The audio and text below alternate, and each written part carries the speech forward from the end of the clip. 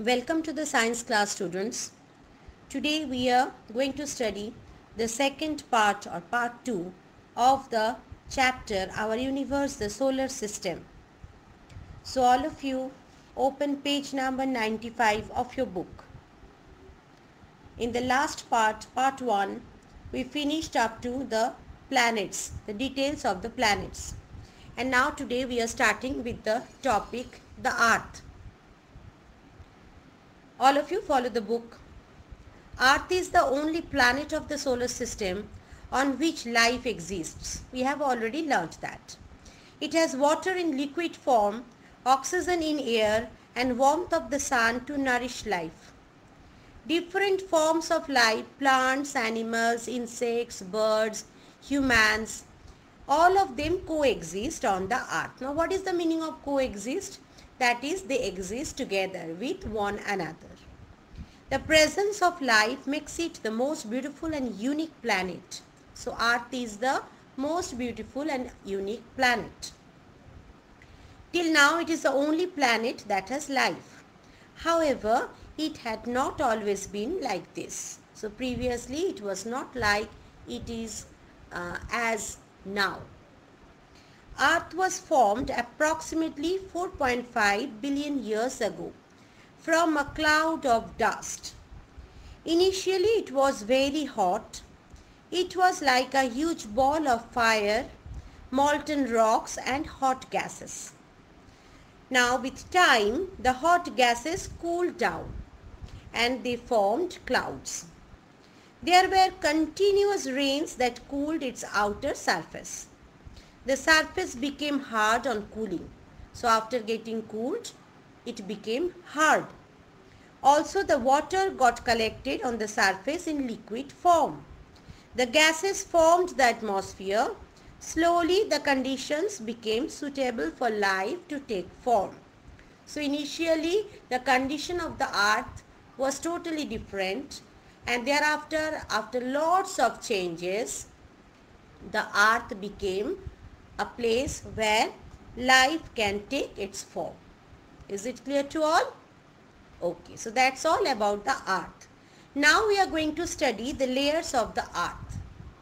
I hope all of you are familiar with the layers of the earth because just before a few days we have learnt it in our social studies class. So now we are going to discuss the layers of the earth. All of you follow the picture. The earth is made up of three layers, isn't it? So what are the three layers? Core, mantle and crust. I hope all of you can recollect. The first one we are going to study is core.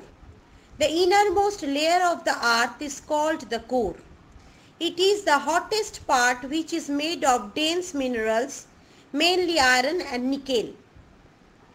Now follow the picture and go to the next page that is page number 96. The core has a solid inner core and a molten outer core. The inner core has a temperature of about 4000 degrees centigrade. Okay. So that's all about the first layer that is the core. The innermost layer we are going to discuss and we have already discussed sorry.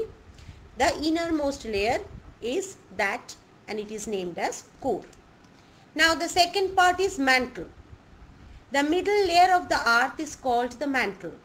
It is the thickest layer which is made of rocks rich in minerals such as iron and magnesium. So that's all about the second middle layer.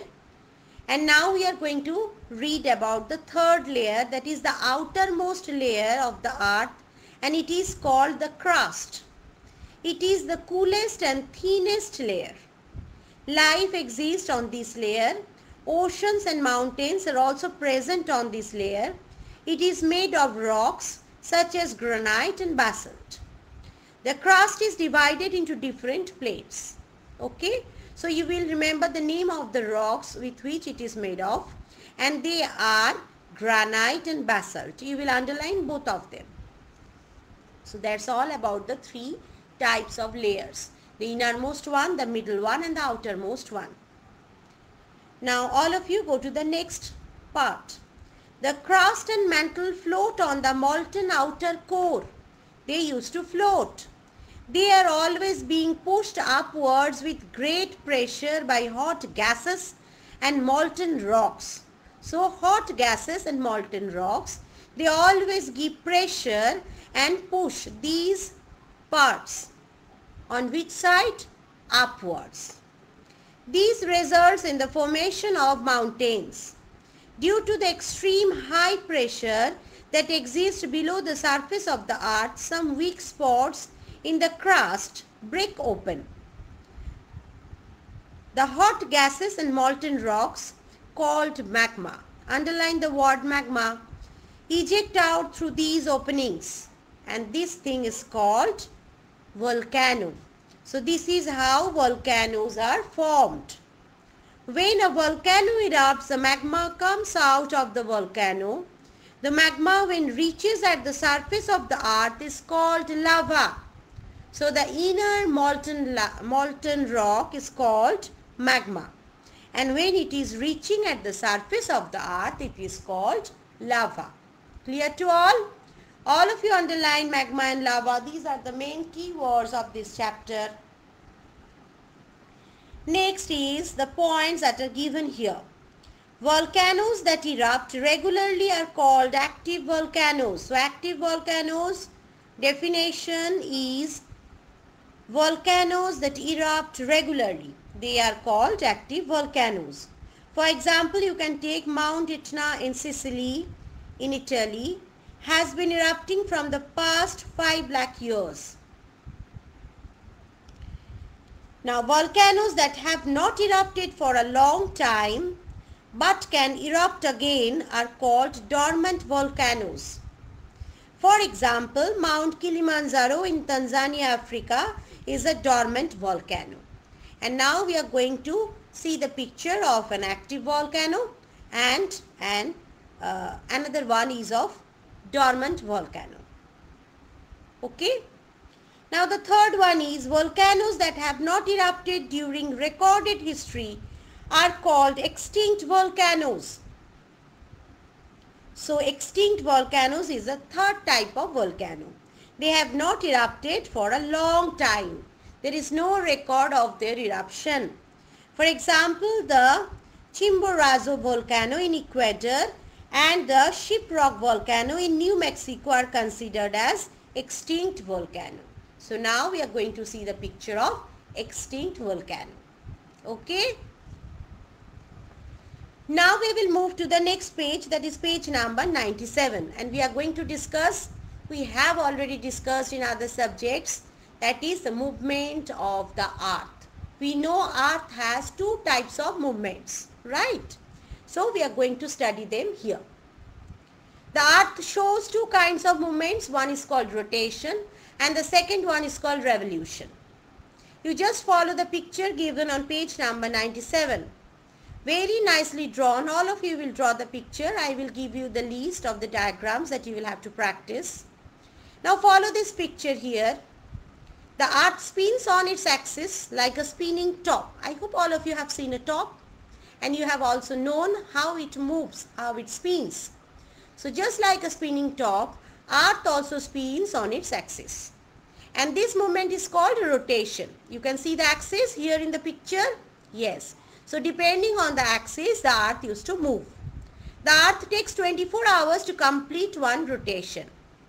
The axis is an imaginary line. So all of you please remember students that the axis is an imaginary line and it is running through the center of the earth from the north pole to the south pole.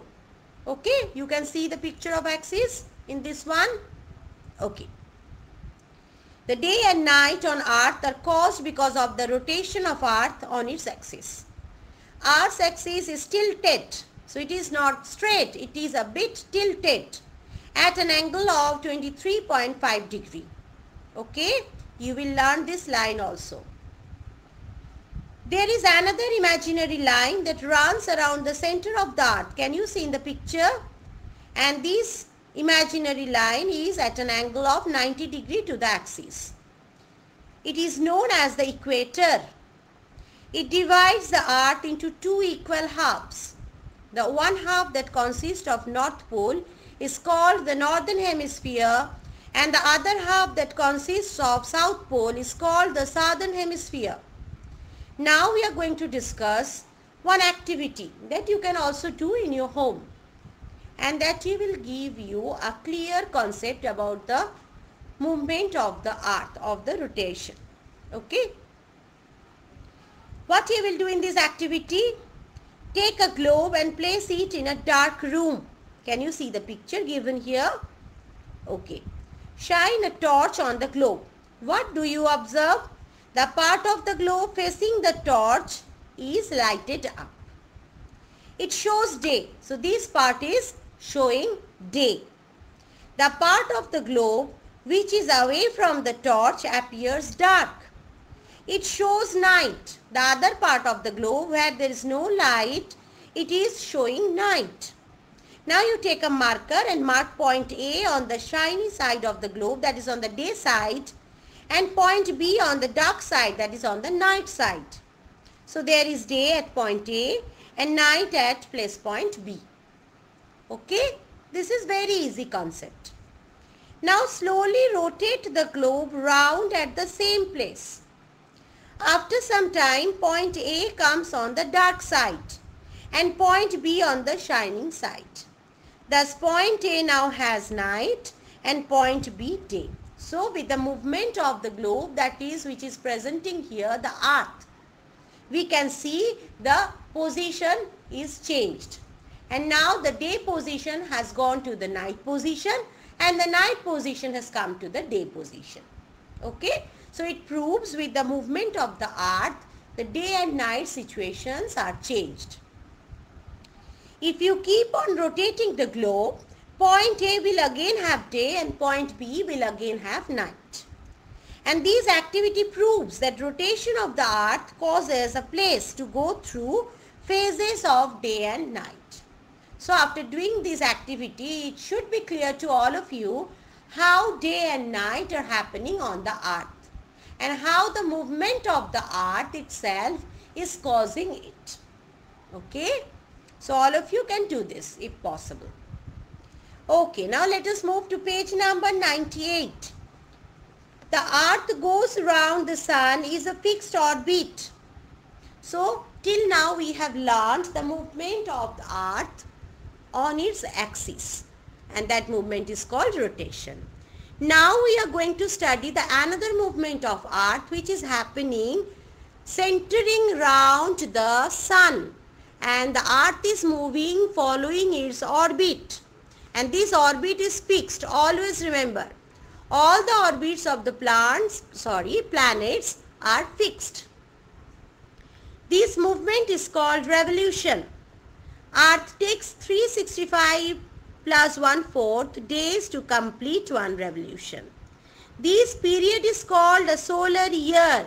So this entire period of uh, fulfilling or of completing a revolution is called a solar year or simply a year. Okay, is it clear to all? Have you understood the difference of rotation and revolution? Okay, now we are going to discuss revolution in detail. Change of seasons. The revolution of earth around the sun is causing change of seasons on the earth. I hope all of you know the seasons that are happening on the earth like summer, monsoon, autumn, late autumn, then winter, then spring. Right? When the North Pole is tilted, please follow the picture before starting this part. There is a picture of revolution of earth around the sun. All of you follow it. When the North Pole is tilted towards the sun, the northern hemisphere receives direct sun rays.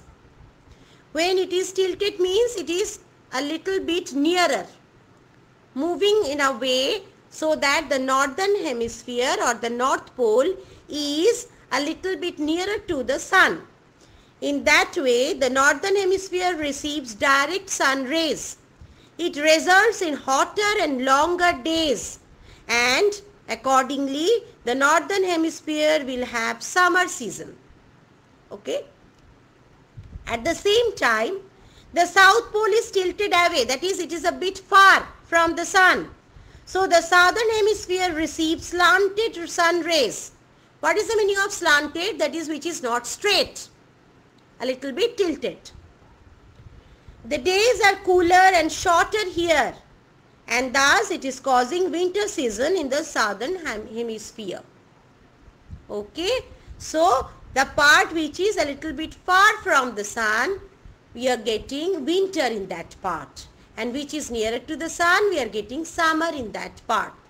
And it also means that when you are having summer in the northern hemisphere you are having winter in the southern hemisphere. When the north pole is tilted away from the sun, the northern hemisphere receives slanted sun rays. Now we are discussing the opposite situation. When the northern hemisphere is a little bit far away from the sun and it is receiving the slanted sun rays, it is having winter. It thus has winter. During this time, the southern hemisphere receives direct sun rays. Okay, so when the northern hemisphere is having slanted sun rays, the southern hemisphere is getting direct sun rays and thus it is causing summer there. Noon is the hottest part of the day. All of you underline this statement. Noon is the hottest part of the day.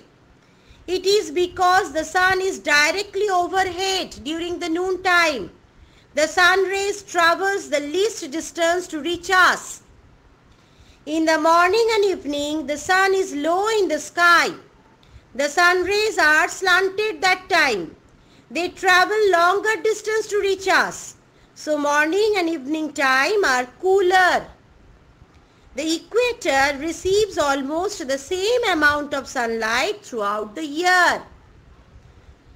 The seasons do not change here and it is like summer throughout the year. So the places which are situated on equator that is the line imaginary line which is dividing the earth in two halves I hope all of you can remember so on these places those places which are situated on these equator they are having summer throughout the year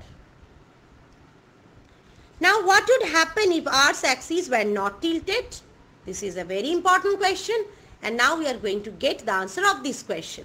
So move to page number 99 everyone. If Earth's axes were not tilted, the North Pole and the South Pole would always be at the same distance from the Sun. The two hemispheres would receive the same amount of sunlight throughout the year and thus there would be no change of seasons there. In India there are five seasons. In between summer and winter, there is the autumn season. In between winter and summer, there is the spring season.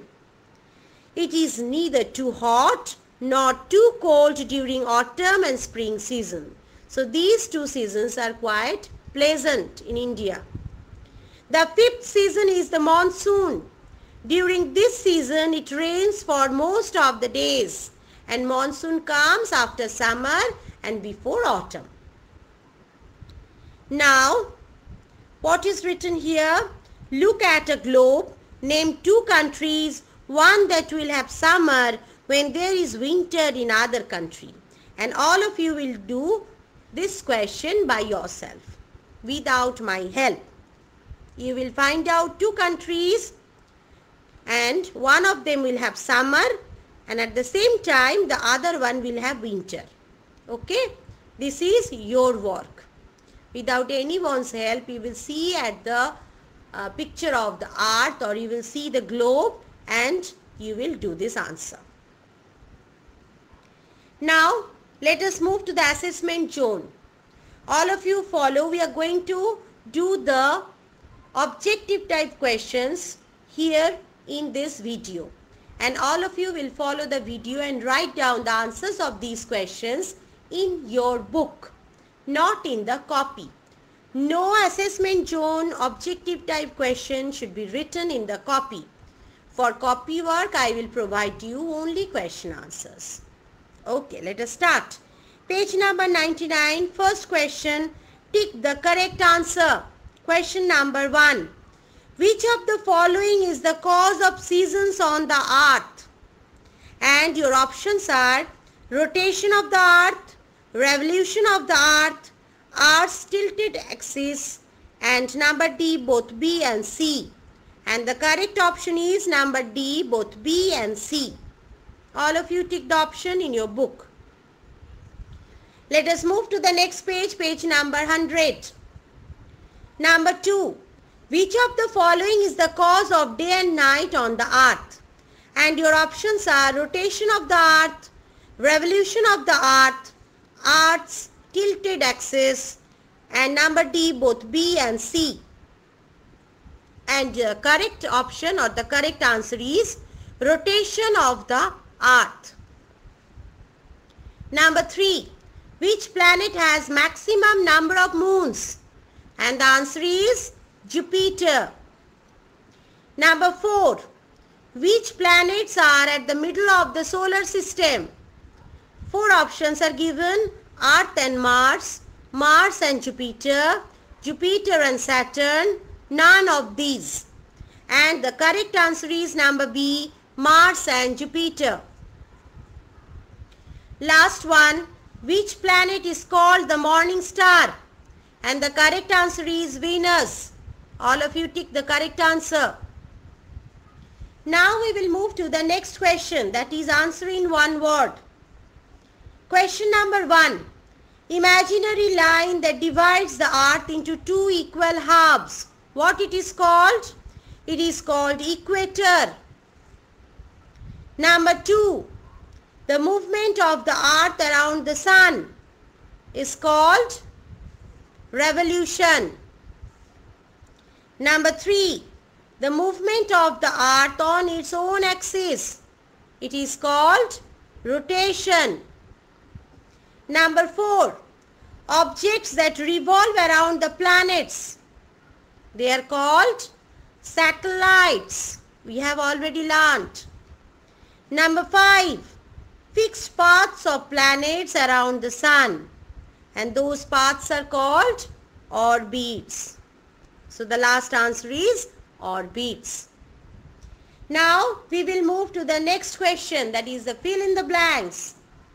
And the first one is the planet dash has not been named after Roman and Greek gods. Only one planet is there and that name of that planet is Earth. Number two, dash is also called the red planet.